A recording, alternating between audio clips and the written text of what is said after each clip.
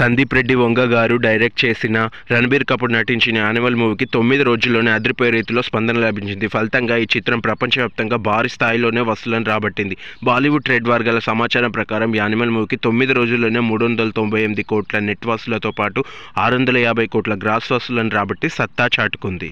అదిరిపోయే యాక్షన్తో రూపొందిన యానిమల్ మూవీకి రెండు వందల కోట్ల వరకు బడ్జెట్ అయింది. అంతకంటే ఎక్కువగానే ఈ సినిమా ఓవరాల్ బిజినెస్ జరిగింది. రెండు వందల పది కోట్ల నెట్ టార్గెట్తో ఈ సినిమా ప్రేక్షకుల ముందుకు వచ్చింది. తొమ్మిది రోజుల్లోనే ఈ సినిమా నాలుగు వందల కోట్ల రూపాయలు రాబట్టింది అంటే ఇట్ స్టేటస్తో పాటు అప్పుడే నూట తొంభై కోట్ల రూపాయల లాభాలను అందుకుంది. ఈ సినిమా ముందు ముందు ఎలాంటి వసూళ్ళు సాధిస్తుందనేది ఆసక్తికరంగా మారింది. ఫ్రెండ్స్ ఇలాంటి మరిన్ని వీడియోస్ కోసం మూవీ అప్డేట్స్ కోసం వెంటనే మా యూజీవై ఛానల్ని సబ్స్క్రైబ్ చేసుకోండి ఫ్రెండ్స్. మరో వీడియోతో మళ్ళీ కలుద్దాం. బాయ్.